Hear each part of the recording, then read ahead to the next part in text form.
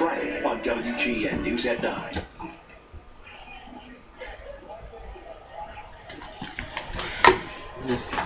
Oh, I've already got double play. Let's see what else can happen.